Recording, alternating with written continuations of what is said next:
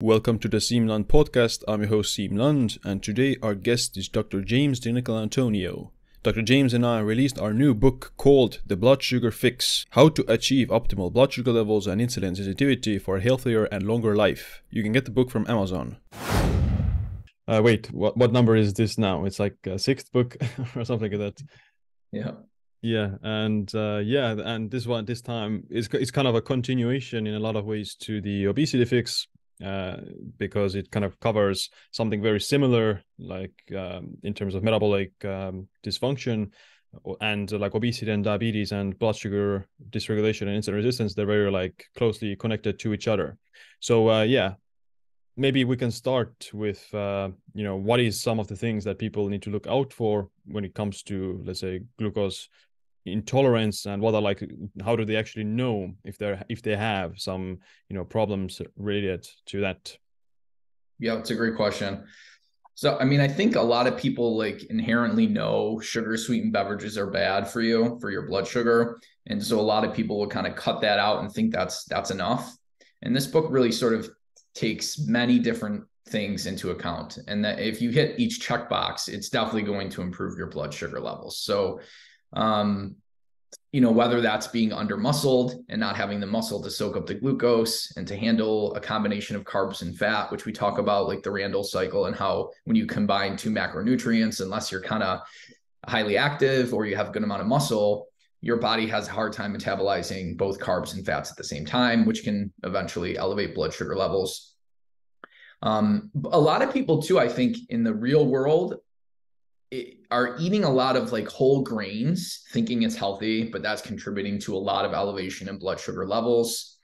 Um, we know, and we discuss this in the book too, that refined sugars are actually more harmful than refined carbohydrates, and they're hidden in everything. 75% of the packaged foods in the United States contain hidden added sugars, which is a problem. And then one thing that we touch on as well that really hasn't been covered in other books is numerous nutrient deficiencies can lead to not just elevations in blood sugar but have literally been shown to cause pre-diabetes and diabetes and we can you know cover that as well. But that's sort of like an overall umbrella of what the blood sugar fix book is. Mm, yeah. So it you know obviously uh, it's not only about yeah like diabetes uh, although it can help the you know pathology and symptoms of diabetes uh, it's more yeah about, about like um the main message is like prevention. How do you make sure that you don't develop this uh, poor glucose tolerance? And uh, like what are the things to do to just overall improve your insulin sensitivity? Because i mean it's just healthier to have better glucose uh, you know metabolism and uh, insulin sensitivity which then you know determines your other like uh, disease risk as well like because if you have diabetes then your risk of cardiovascular disease doubles at least and uh, the risk of dying prematurely also increases quite significantly because uh, diabetics they do have like a five to ten year shorter life expectancy just from diabetes alone. And if you get like cardiovascular disease as well from that then that can be like 20 years shorter life expectancy uh, quite quite you know easily. Right. Yeah and that that brings up a good point too. Um a lot of heart attacks are actually caused by pre-diabetes and type 2 diabetes but really aren't labeled as such right? Like most people don't view it as you had a heart attack because you've had elevated insulin and glucose for 20 years. Most people just kind of blame it on red meat or eggs or salt or saturated fat and say that's why you had a heart attack. Um, and the thing is too is we don't really diagnose type 2 diabetes until someone's had the disease for at least a decade and they've lost like 50% of their beta cells.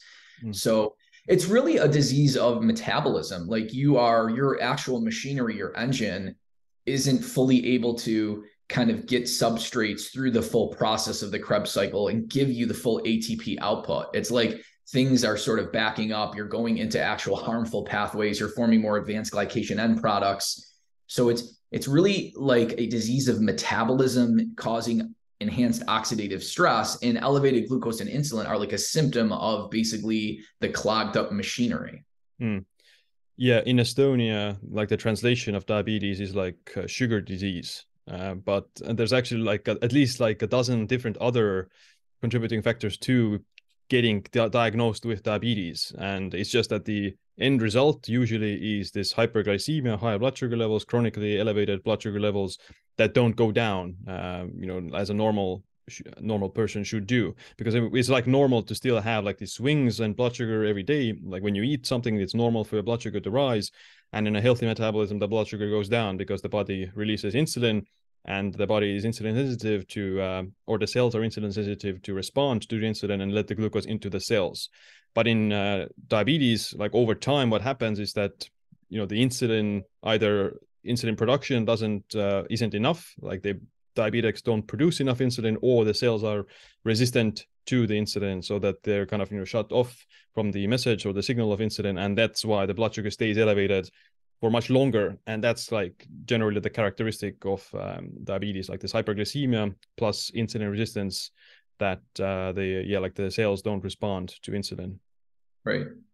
And uh, yeah like for, for some like you know actual numbers for people to look at like your blood sugar levels obviously are one of the like diagnostic diagnostic uh, tools for uh, diagnosing like either pre-diabetes or actual diabetes. If you have like a normal blood sugar in the morning should be like below below 100 milligrams per deciliter which is like less than 5.6 uh, millimoles per liter if you have let's say some aspects of impaired glucose tolerance or starting to indicate some pre-diabetes then it's about 100 up to 125 milligrams or 5.6 to 7 and if you have above 126 milligrams uh, or uh, 7 millimoles, then that's diagnosed as diabetes um, in the like at least like the blood sugar marker. But there's also like the uh, hemoglobin A1C that uh, measures or indicates the average blood sugar over the past few uh, weeks, and it measures like this glycated hemoglobin in the blood. And um, normal levels are less than 5.7 percent.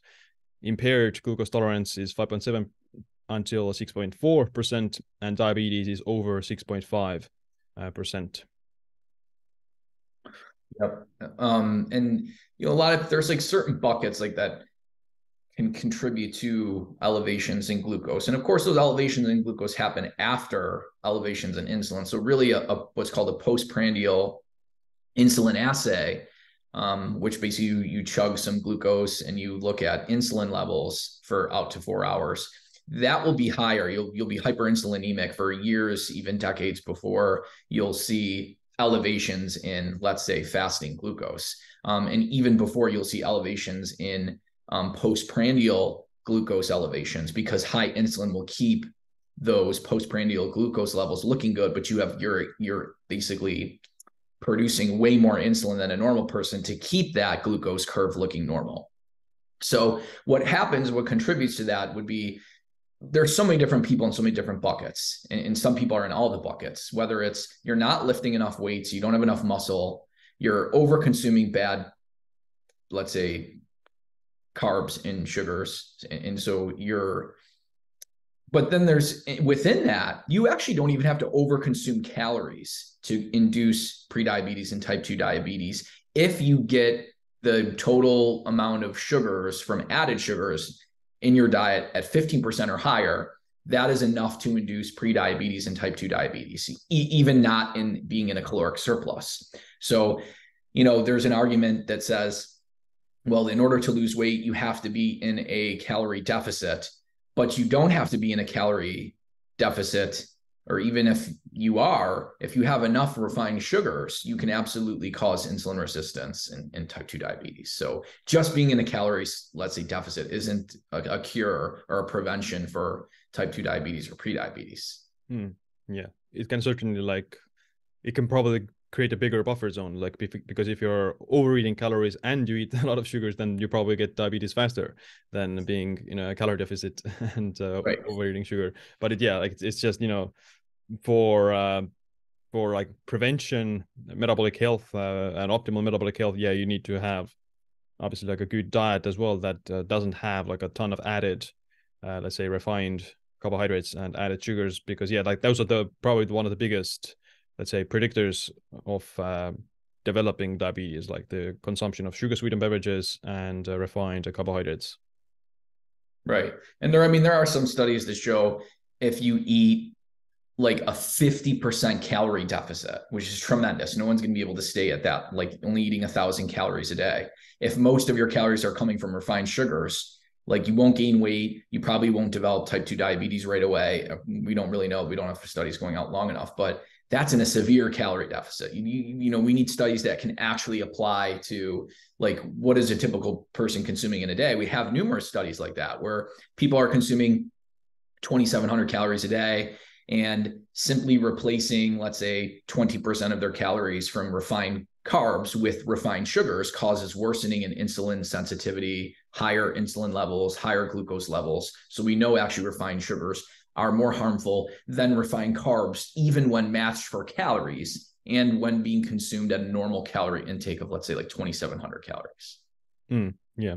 And why do, let's say, the liquid calories of sugar? Why, why are those like worse?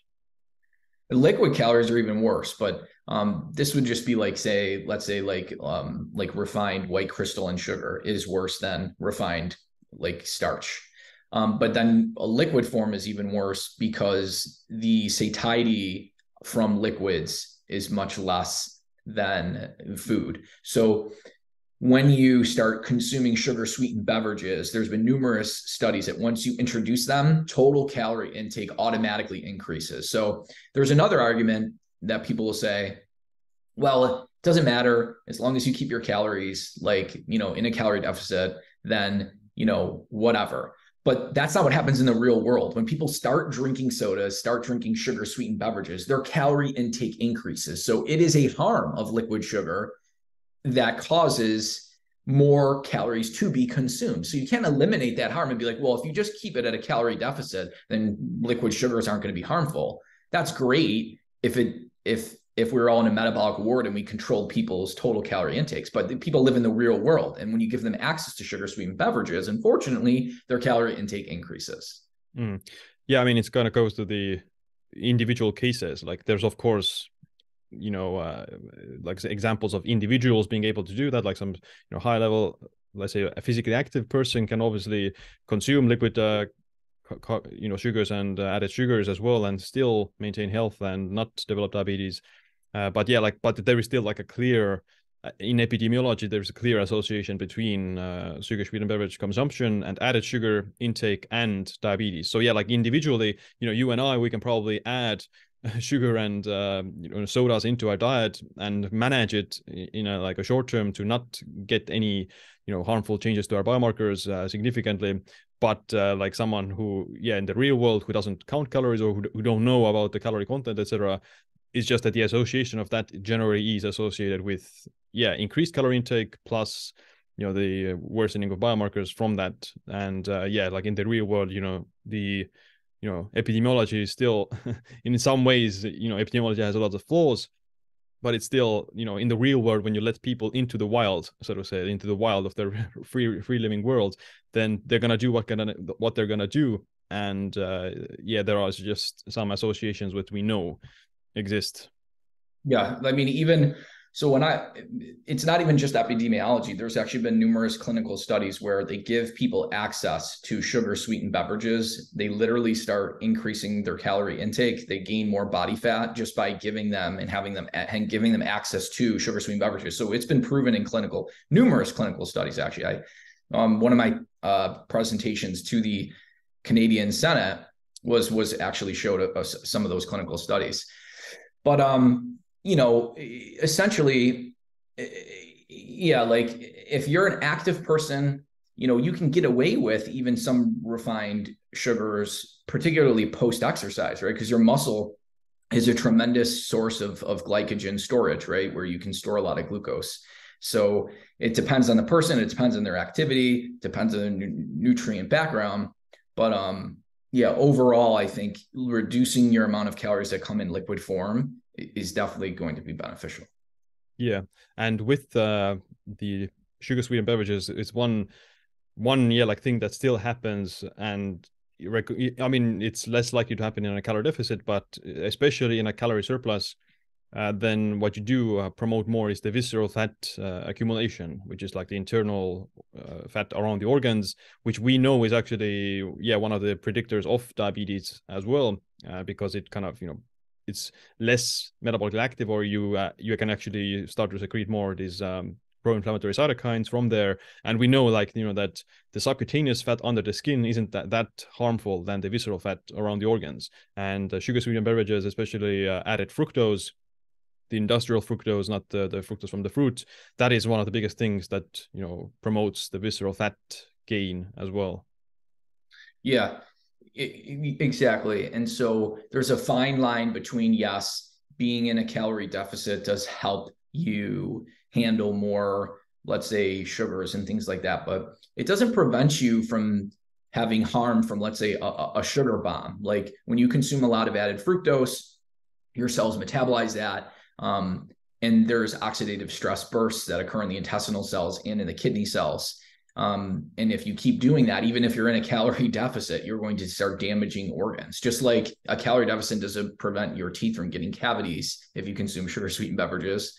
Um, so there's certain harms that are going on that can't necessarily be eliminated just by being in a calorie deficit. Yeah, and um, we shouldn't, you know, let's say, or, or actually, yeah, we can we can continue on with a, a little bit of on the um, carbohydrates and sugar side.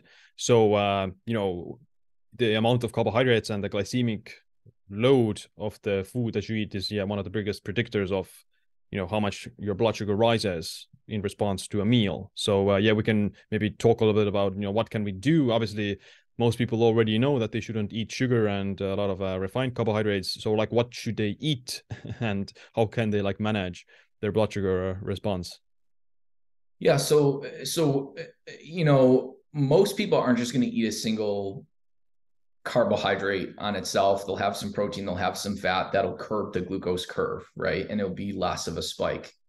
We see that even with 100% whole grains, most of them are ran through a steel roller mill.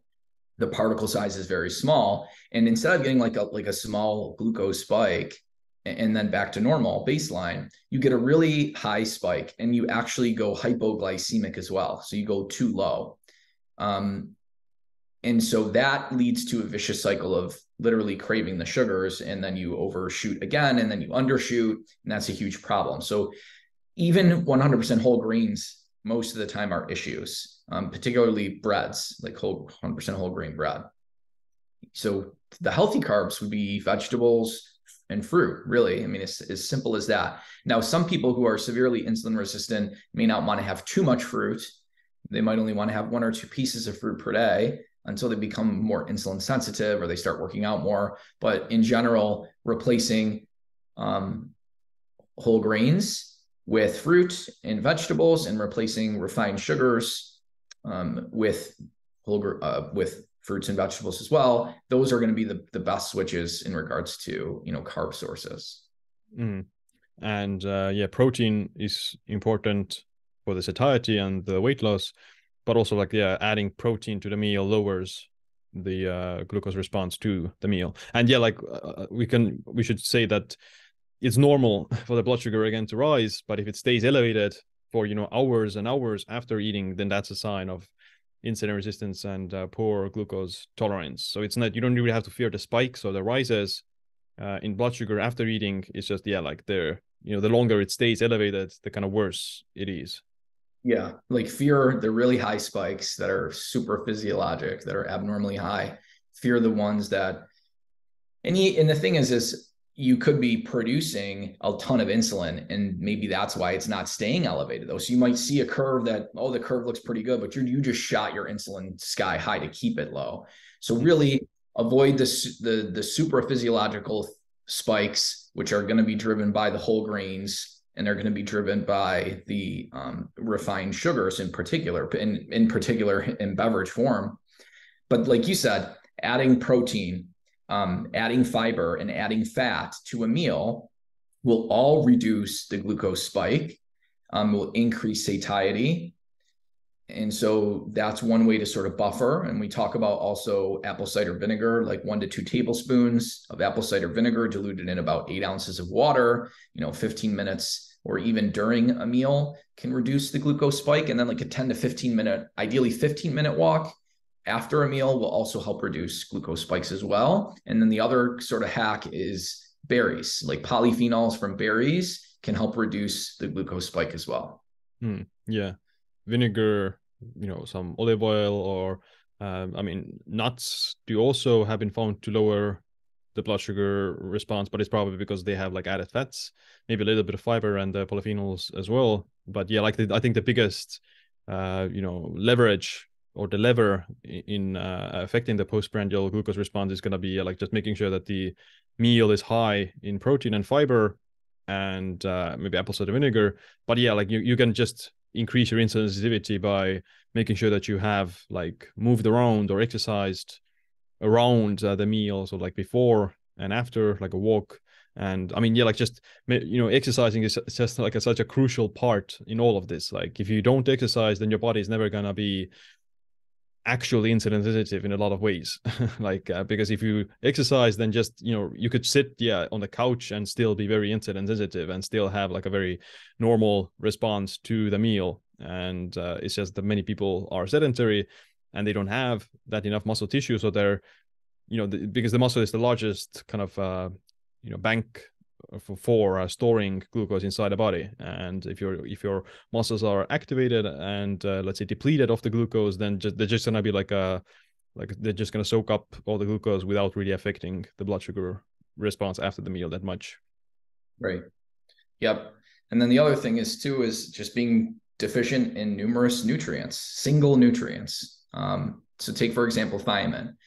Back in 1939 and back in 1940, there were a couple of studies done that literally showed within just a couple weeks, but certainly within two to three months, if you are consuming less than 0.15 milligrams of thiamine per day, that leads to prediabetes and type 2 diabetic glucose curves. So we've known for over 80 years that to being, being deficient in one vitamin, vitamin B1, thiamine, can literally cause prediabetes and type 2 diabetes virtually no clinician knows about this, and certainly the general public doesn't know about this.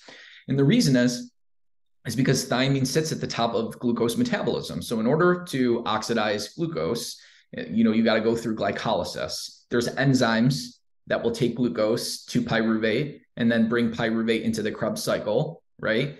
Um, via acetyl CoA, um, and then you know form ATP. So all these enzymes require thiamine. Uh, transketolase is one. Now, transketolase is important too because it keeps glucose running to the pyruvate Krebs cycle pathway, pushes it away from the advanced glycation end product pathway. So when you're deficient in thiamine, you produce less advanced glycation end products, you produce less oxidative stress, and now you're bringing glucose um, into the Krebs cycle, right? As uh, you know, pyruvate slash, and then you have acetyl CoA. But pyruvate dehydrogenase in order to bring pyruvate into the Krebs cycle. That enzyme requires thiamine. And then alpha ketoglutarate dehydrogenase, another enzyme that converts alpha ketoglutarate to succinyl CoA in the Krebs cycle, requires thiamine. So, literally, for you, your body to make ATP out of glucose, you need thiamine.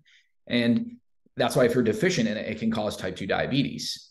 Now, the form of thiamine that actually activates those enzymes is thiamine diphosphate or pyrophosphate. It's an activated form. You have to activate it in the body. And the, uh, the other nutrient that's required to do that is magnesium. So if you're deficient in thiamine, you're deficient in magnesium, that can literally induce type 2 diabetes or prediabetes.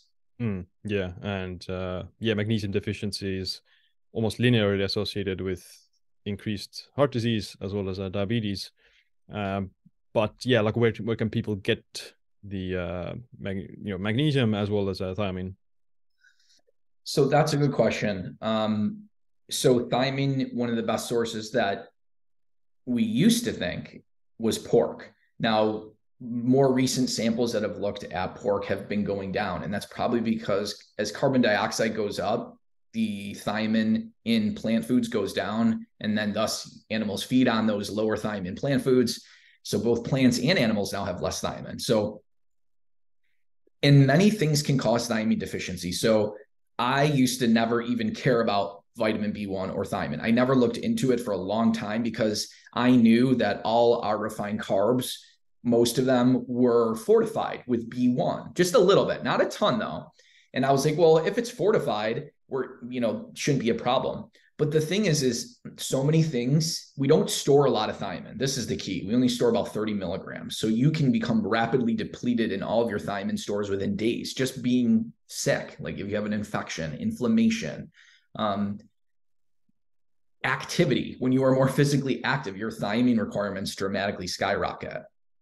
And then anything like even diarrhea, drinking coffee or tea close to your intake of foods have basically polyphenols and things that will inactivate thiamine, but also reduce the absorption of thiamine. Raw, raw sh- shellfish, so like um, sushi and things like that. Um, sulfites will break down thiamine. Um, so certain wines, so there's all these things. And you start adding all these things up. Once I started learning that, I started understanding, okay, thiamine deficiency is a huge issue here. Not to mention that simply having a high carb diet dramatically increases your need for thiamine. So there was some good studies where they they gave people parenteral nutrition, you know, high in carbs, it instantly induced thiamine deficiency. So you know, good sources, it's hard to say what a good source is nowadays of anything because plant sources and animal sources of, of nu- nutrients have gone down. Um, but yeah, pork is traditionally like your best source whole grains typically have more thiamine than non-whole grains but then you also increase your thiamine requirement by ingesting whole grains. So you're so it's it's hard to say if that's giving you a net positive or not. So you can't just look at like does the food have a lot of thiamine? How well is it being absorbed? And is it causing your needs to go up? So it's really good. Most people should probably be supplementing with some type of thiamine just to cover their bases um, especially since if you're if you've been on a low thiamine diet for a long time the the enzymes require sometimes very, very high doses to reactivate. Um, and, and that's partly why I think a lot of the people consuming just the bare minimum with fortifi- fortified whole grains, it's not enough to reactivate those enzymes that have been shut off due to a very low intake of thiamine for a long period of time. Mm, gotcha. And uh, how much would if you if some people would supplement, how much would uh, would like the optimal dose be? So a lot of studies have looked at benfotiamine, which is um, sort of like a thiamine alternative, using anywhere from 350 milligrams twice a day to three times a day, showing benefits on glucose control in type 2 diabetics, showing benefits on A1C. Um, adding probably thiamine HCl 50 milligrams a day to that would probably not be a bad idea. And then the best thiamine supplement is called allithiamine. It's called thiamine tetrahydrofurfuryl disulfide was invented in Japan. It's it's basically a synthetic form of the thiamine in garlic, which is a very very highly cell bioavailable and brain bioavailable thiamine, which benfotiamine and thiamine HCl can't really get into the brain. Um, they uh, benfotiamine has great access to certain cells like red blood cells, but doesn't have good access to the brain. You have to take really high doses. That's why allithiamine. I take all three: thiamine, HCl, benfotiamine, and allithiamine. Now, I've tested just taking allithiamine on my own blood sugar level. So my A1C was 5.2 to 5.3. Three months of 300 milligrams of allithiamine took my A1C from 5.2 to 5.3 down to 4.8. Just doing that was the only thing I changed. That's a pretty good move, um, especially in an insulin sensitive range. So, you know, someone who's in a diabetic range could potentially see even better improvements. Hmm. wow, that's uh, that's awesome.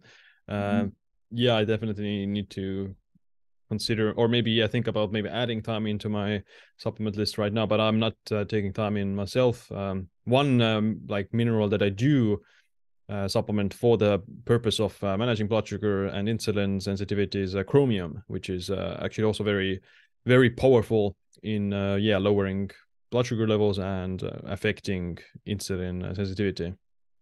Yeah, chromium is is hugely underrated. Um, and th- just like thiamine, a lot of things can cause chromium deficiency. We lose it in sweat. When we consume carbohydrates, it releases chromium in the cell to handle that carb, and then we lose that chromium in the urine. And then exercise increases your requirements of chromium as well. So, what's really bad is that the bioavailability of chromium is only 1%. So, when you lose it, you have to get a hundredfold intake to get, replace that 1% back. So, we lose, I don't know, you know, there's certain sweat studies that would suggest that if you sweat for one hour, you may need 100 to 300 to 400 micrograms of chromium to replace what's lost because again only 1% is bioavailable so if you lose you know one microgram of chromium you need to ingest 100 micrograms to get that one microgram back. Um, so that's really why chromium is so vital. And then there's been numerous studies, anywhere from 200 micrograms to 1,000 micrograms per day, the higher end in those who are type 2 diabetic, showing improvements in A1C, glucose control, and even fat loss and muscle gain too, which is kind of interesting, probably because it allows insulin to work better. Insulin drives, you know, amino acids and, and you know, synthesis of muscle and things like that too. Yeah, yeah, like that's that's a big you know misunderstanding about insulin they think it's all bad but insulin has so many like very important roles. Yeah like you know muscle growth it's a very very anabolic hormone. It helps to store nutrients. So if you're like insulin resistant or you don't produce insulin then yeah like even the micronutrients aren't able to enter the cells uh, either. So uh, yeah it's quite crucial. And when it comes to actually you know the hypertension and the things like that then insulin is the one that like releases this uh, vascular endothelial factor uh, and improves endothelial function whereas in insulin resistance it doesn't happen. So it's again you know insulin has like either a good role or a bad role uh, depending on if you're insulin sensitive or if you're insulin uh, resistant. Yeah and if you're insulin resistant too especially at the cellular level let's go back to magnesium magnesium is driven into the cell as well as potassium from insulin. So if you're insulin resistant, you are also typically magnesium deficient at the cellular level because you have a lower amount of magnesium and potassium going into the cell. Elevated insulin levels also increase the urinary excretion of magnesium. And so you'll see type 2 diabetics, um, they'll have an elevated urinary magnesium but their ionic magnesium, which is the activated form, um, is is down in the blood. So typically 50% of type 2 diabetics are magnesium deficient. So they're not activating their thiamine as well, right? And so they're not able to burn their glucose appropriately, which also elevates lactic acid and leads to tissue and, and basically, you know, this acute in certain tissues, ischemia, as well. So you can literally have poor glucose metabolism causing oxidative stress, um, tissue ischemia, buildup of lactic acid. So it's, it's just it's just a mess when your body doesn't have the nutrients to allow the metabolic engine to run. Yeah, uh, but yeah, and what is what what you know causes the insulin resistance in the first place? Like you know why does it develop, and at like what point like does it develop? So it kind of like what we talked about before, you have you have certain nutrients like chromium, like um, thiamine, like magnesium that have to activate enzymes to metabolize glucose. And so that's part of it. Then you also we we we cover lack of inositol, right? But actually our body makes inositol through magnesium. So magnesium deficiency can also decrease the production of inositol, which when insulin hits its receptor, inositol compounds are released, which cause GLUT4 to rise to the cell and allow glucose into the cell. So there's another pathway, not having enough inositol or being magnesium deficient. Um, and then a lack of salt, sodium, another essential nutrient. Uh, I recently published a review of 23 human clinical studies showing that low salt diets induce insulin resistance or worsen fasting insulin or postprandial glucose or postprandial insulin.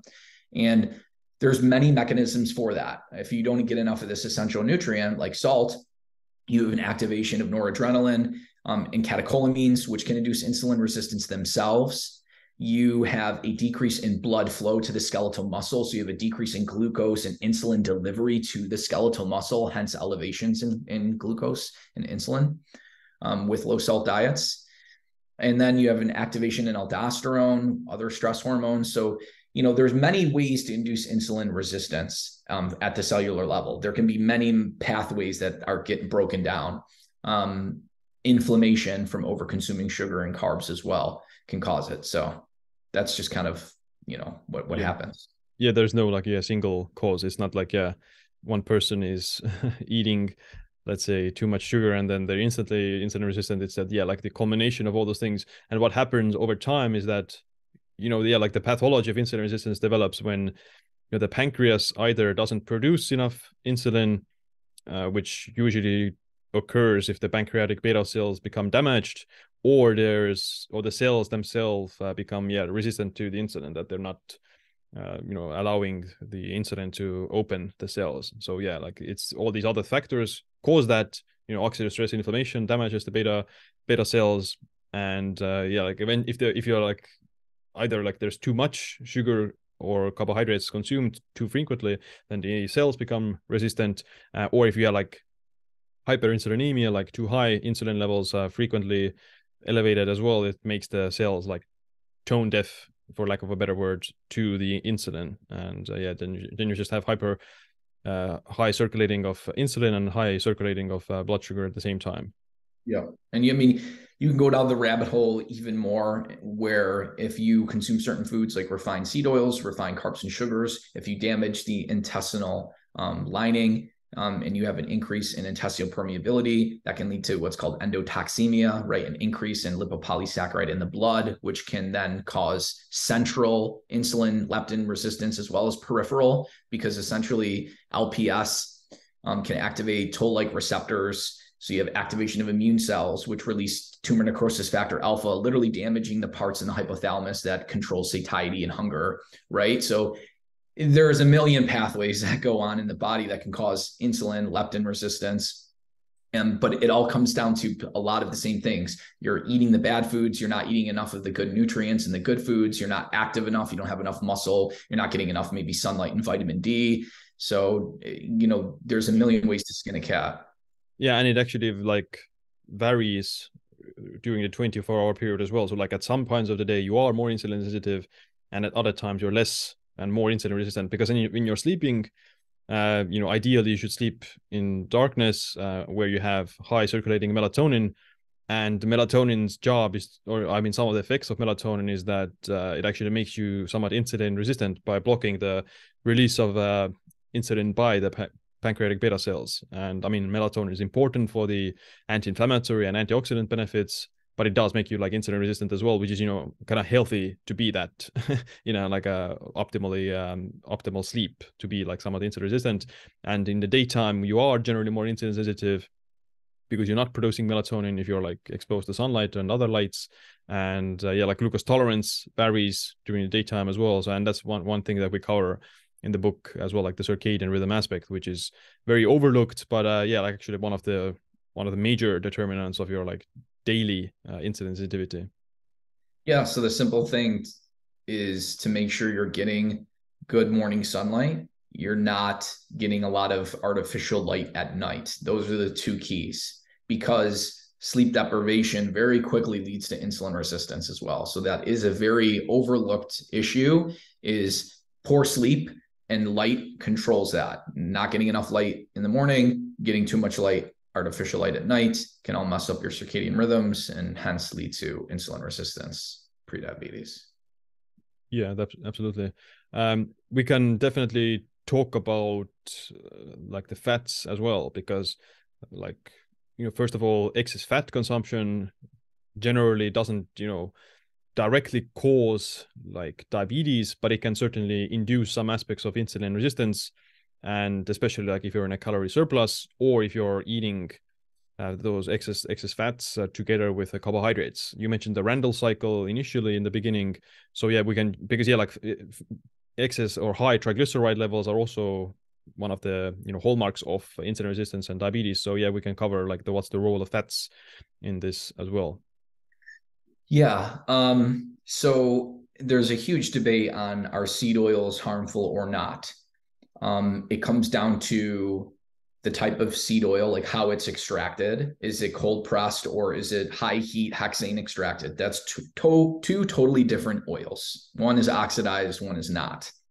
And then how much are you consuming? Obviously, if you consume a very little bit of oxidized seed oil, it's probably not a big deal. If you consume a fair amount for a long period of time, probably a big deal. And then are you cooking those seed oils? When you cook omega 6 seed oils, particularly highly refined ones, that is going to dramatically increase the harmful effects. So those fats will absolutely harm the body and will contribute to insulin resistance. We know that trans fats too are harmful to the body. Technically, no level of intake of trans fats is healthy. Um, and then in re- in regards to fat, like you said, fat on its own isn't really that harmful. Um, it's when you start combining them with carbohydrates where particularly long chain saturated fats uh, seem to induce a little bit more metabolic harm than let's say monounsaturated which is why like the mediterranean diet does seems to be able to get away with more carbs because you're having more monounsaturated fats just because long chain saturated fats have a lower oxidation rate. Um, and so they don't get burned as easily. And that's a problem that's not a problem when you're not eating a lot of carb, but that becomes a problem when you start eating 300 grams of carbohydrates. You start eating a lot of butter, heavy cream, right? Um, cheeses, dairies. When you start doing that, the combination of that that two can be um, pretty pretty bad regarding fat gain, regarding insulin resistance. Yeah, so like the pathology that situation is that you you know first when you eat like fats, then uh, if you are eating them together with carbohydrates, then you will see a rise in triglycerides in the blood, which is you know normal to have a rise in triglycerides in the blood.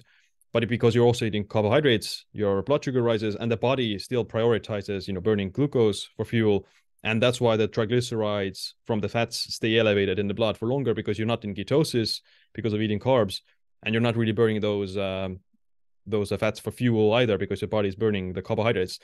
If you're in a calorie deficit, then you probably will burn all of that but if you're you know eating like a calorie maintenance or in a surplus then yeah like just the triglycerides stay in the blood for elevated elevated longer time. So you experience this, this uh, hypertriglyceridemia which then eventually causes this lipotoxicity that starts to damage the uh, beta cells. And uh, yeah like the different fats have a, like a different effect on the beta cell damage. And yeah like the saturated fats will generally have like a slightly more damage to the beta cells, whereas like uh, omega three fats actually have like one of the least uh, damage. And if you like over time just you know experience this lip- lipotoxicity, which yeah is caused actually by the combination of the sugars and fats through disrupting the Randle cycle, uh, the glu- the fatty acid glucose oxidation cycle. So that's what is kind of resulting in this uh, lipotoxicity, and over time it damages the beta cells, and that's when you develop insulin resistance. So the main message is to don't eat like large amounts of fats and carbs together. Either eat them separately, or just you know if you're in a calorie deficit, then you can still get away with it a little bit, um, but it's still not like the optimal, ideal uh, way to go. Yeah, and you know endogenous saturated fats seem to be driven by your carb intake. And Volek and colleagues did some good studies on that, that basically, even though a low carb diet had three times the saturated fat, that when you consumed a diet higher in carbs, the actual saturated fats in the blood were much higher in the higher carb diet. So it's like you you can sort of dial up or down the saturated fats in your body by dialing up or down the carbs. The carb content really drives a lot of that saturated fat in the body, which is kind of interesting. Yeah, yeah, and like the the Randle cycle, just yeah refers to your body's like innate function of uh, it chooses like you always burn a mixture of different fuels. You always burn a mixture of carbs, fats, lactate as well, but or ketones, and it's just the yeah like the main focus is going to be on one or the other. If you're in ketosis, then you burn mostly fats and ketones.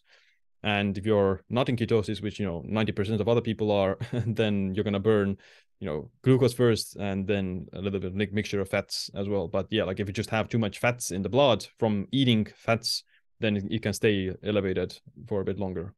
Yeah and then the other very confusing thing as well is you have a lot of plant-based um, doctors saying that low carb diets induce insulin resistance. And really, it's non pathological carb intolerance. Like when you don't eat carb, when you give someone an oral glucose tolerance test, they're going to look insulin resistant um, which is why you're supposed to be on a moderate carb intake for at least two weeks before you get like an oral glucose tolerance or an insulin assay to determine if you are actually insulin resistant, because we know that consuming a very low amount of carbs for a long period of time will make you carb intolerant. So it's it's kind of like a short-term non-pathological thing going on, but as you and I both agree, we don't believe that someone should be in chronic ketosis. Um, it's it's too stressful of a state chronically. It's probably not good for thyroid health. You need pulses of insulin. You need pulses of carbs um, for numerous reasons uh, metabolic health um, mental health thyroid health things like that. So um, going in and out of ketosis because you are exercising or building muscle or not consuming a ton of carbs is fine but chronic ketosis is probably not a, a great idea yeah and uh it is you know shown that ketogenic diets, low carb diets, they do work in improving insulin resistance and uh, blood sugar levels quite rapidly, and it's slightly better than high carb diets. But uh, at the end of the day, like both diets, whether it's a low carb, high fat diet or a high higher carb, lower fat diet, they can still result in better you know glycemic control and better insulin sensitivity over time. It's just in the short term it appears that yeah like a carb restriction in the short term is definitely superior to like a higher carb intake. But yeah if you're healthy then there's no reason to you know you don't have a metabolic requirement to be on a like a carb restricted diet. Yeah the other uh, factor that can induce insulin resistance as well is actually not balancing your acid base balance um, I've published a couple of review papers on acid base and how the diet affects that. And essentially, your interstitial fluid will become acidic much faster than your blood, even though blood pH literally does become more acidic as we age, as we consume um, a more of a more acidic diet that's not being balanced by base. You will see the pH of the blood go from like 7.42 um, or 7.45 down to like 7.36 and the blood is more acidic but it's still considered normal but the interstitial fluid doesn't have the buffering capacity like the blood does. Um, and so the interstitial fluid will become more acidic and thus the receptors the insulin receptors you can literally cause insulin resistance by having too much acid in the interstitial fluid um, so balancing acid base is important. You don't have to consume plant foods to do that. Um, although fruits and vegetables will offset the acid of animal foods, but you can also consume bicarbonate mineral waters, or you can consume like sodium citrate or sodium bicarbonate. I prefer citrate because it doesn't mess with the pH of the stomach. Um, supplements to offset some of the acid load of, let's say, an animal-based diet, and that will help also with insulin sensitivity as well. Mm, yeah, that's awesome um yeah is there anything else that we obviously there's yeah like we said many other you know pathways and mechanisms that contribute to this but the main overview is yeah like insulin resistance is one of the or is the kind of the main let's say cause or driver of diabetes and other uh, glucose intolerance uh, let's say syndromes. And um, insulin resistance is caused by yeah like multiple things. It can be caused by excess carbohydrate intake excess sugar intake it can be caused by sleep deprivation, uh, sedent being sedentary, some nutrient deficiencies, circadian mismatch, etc. And uh, yeah, like it's possible to reverse that. Um, we didn't cover type 1 diabetes uh, here but uh, we do talk about it in the book as well which is unfortunately you know not like a lifestyle um, caused issue it's most mostly like genetic but uh, yeah like diabetes is or like you know you can still improve your sensitivity you can improve your uh, glucose tolerance and uh, yeah it doesn't matter if you you know already have prediabetes or if you don't if you're already healthy then it's still prevention is the best uh, medicine and it's kind of important to know you know how to actually improve your blood sugar levels. Yeah and uh, yeah people can get the book from uh, amazon. It should be out now. And uh, yeah is there anything else you want to say? No i think i think what's really interesting is people are going to find out there's a lot of different ways, a lot of different pairings of foods um, that can help fix their blood sugar besides just what you're typically told, like cut out carbs, right? And so this right. is a refreshing book because it gives a, a, complete overview on numerous factors that can induce insulin resistance, prediabetes, type 2 diabetes. Yeah, awesome. And it was great talking with you. And I'll see yep. you around. Take care. Thanks for listening to this episode. If you want to support this podcast, then check out our sponsors and leave a review on iTunes or Spotify. My name is Siim. Stay tuned for the next episode. Stay empowered.